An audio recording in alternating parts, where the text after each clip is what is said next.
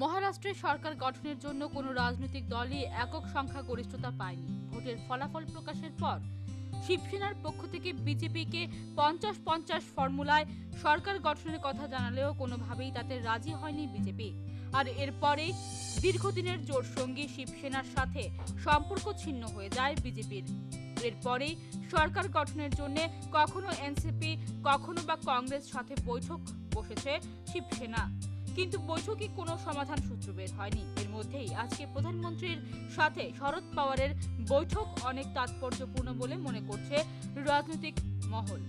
বৈঠকের ঠিক একদিন আগে অর্থাৎ মঙ্গলবার সংসদে এনসিপির প্রশংসা করেছেন প্রধানমন্ত্রী। সবকিছু মিলিয়ে আজকের এই বৈঠক মারাঠি রাজনীতিতে যে গুরুত্বপূর্ণ হয়ে উঠতে চলেছে সেটা আর বলার অপেক্ষা রাখে না।